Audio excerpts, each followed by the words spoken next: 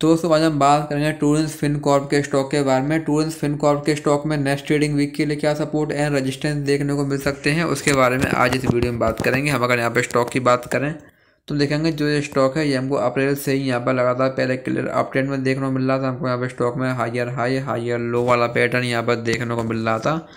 लेकिन फिर 120 के लेवल के अराउंड स्टॉक ने यहाँ पर रजिस्टेंस लिया, जिसके बाद हमको यहाँ पर स्टॉक में गिरावट देखने को मिली। लेकिन अभी अगेन हमको यहाँ पे स्टॉक में रिकवरी भी यहाँ पर देखने को मिल रही है। आज भी हमको यहाँ पे स्टॉक में two point three three percent की यहाँ पर तेज़ी देखने को मिली है।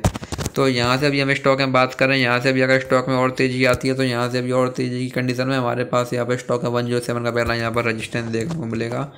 अगर स्टॉक यहाँ पर इसको ब्रेक करेगा देन यहाँ से हमको स्टॉक है वन हंड्रेड सेवनटीन और अगर स्टॉक ने यहाँ पर इसको भी यहाँ ब्रेक किया देन यहाँ से भी हमको स्टॉक में अगेन एक बड़ी तेज़ी, बड़ी बाइंग यहाँ पर देखने को मिल सकती है। इसके बाद हमको यहाँ पे स्टॉक में वन थर्टी और इसके बाद अभी हमको यहाँ पे स्टॉक में again one forty one fifty तक के लेवल्स भी यहाँ पर देखने को मिल सकते हैं एज ए नेक्स्ट स्टेप पर। रजिस्टेंस भाई यहाँ से अब अगर स्टॉक में गिरावट आती है तो यहाँ से अभी गिरावट की कंडीशन में हमारे पास यहाँ पर स्टॉक में वन ज़ीरो टू का पहला यहाँ पर सपोर्ट देखने को मिलेगा। अगर स्टॉक यहाँ पर इसको ब्रेक करेगा देन यहाँ से हमको स्टॉक में नाइन्टी एट एंड देन यहाँ से अभी हमको स्टॉक में नाइन्टी टू तक के लेवल्स यहाँ पर देखने को मिल जाएँगे ऐसा नेक्स्ट टाइप ऑफ़ सपोर्ट तो ये स्टॉक में कुछ इंपॉर्टेंट लेवल्स हैं, आप इन पर ध्यान दे सकते हैं। बाकी वीडियो में कोई बाय सेल होल्डिंग की सलाह नहीं है। वीडियो केवल एजुकेशनल पर्पज़ के लिए है। धन्यवाद।